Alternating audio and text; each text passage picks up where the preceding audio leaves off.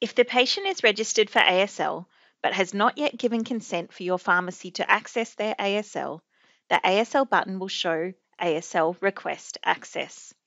This means that your pharmacy does not have access to view the patient's MyASL and must request and obtain consent to do so. To request access, click the ASL button and the Consent to MyASL window will display.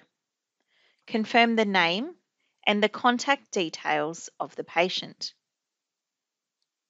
If the contact details need updating, click Update ASL Profile and make any required changes.